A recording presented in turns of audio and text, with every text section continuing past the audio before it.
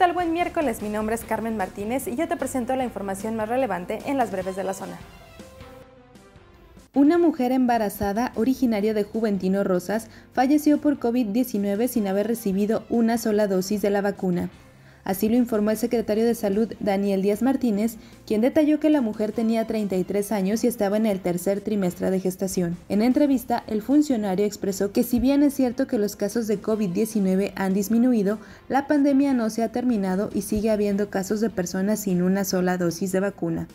De acuerdo con datos de la Secretaría de Salud de Guanajuato, en lo que va de la pandemia, 1.932 mujeres embarazadas han resultado contagiadas de coronavirus. Sistema de justicia laboral es compromiso del Poder Judicial del Estado de Guanajuato. A partir del 3 de noviembre, a fin de que las personas usuarias de los servicios judiciales cuenten con espacios dignos y accesibles, se establecen los cuatro centros de justicia laboral ubicados en Guanajuato, Celaya, León e Irapuato. Conoce su ubicación en www.poderjudicial-medio-gto.gov.mx, Poder Judicial del Estado de Guanajuato. Habitantes del ejido de Capellanía denunciaron ser desalojados por parte de las autoridades municipales acompañados con agentes de la Guardia Nacional sin contar con un solo oficio o notificación previa. Isabel Reina, una de las afectadas por esta situación, contó que desde las 7 de la mañana de este miércoles ya no los dejaron pasar a sus domicilios e incluso a muchas personas les sacaron todos sus muebles.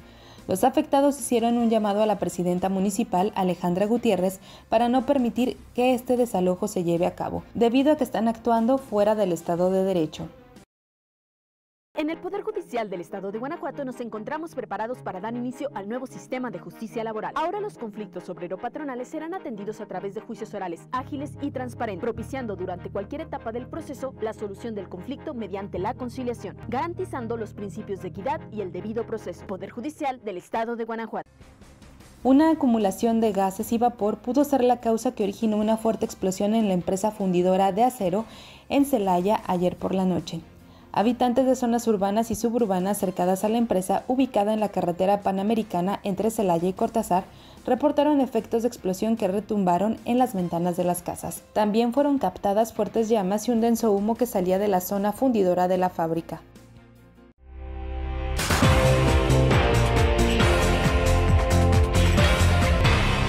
Quédate pendiente de todo nuestro contenido en zonafranca.mx y síguenos a través de nuestras redes sociales. Más tarde ve el bloque informativo que te presenta Vania Jaramillo.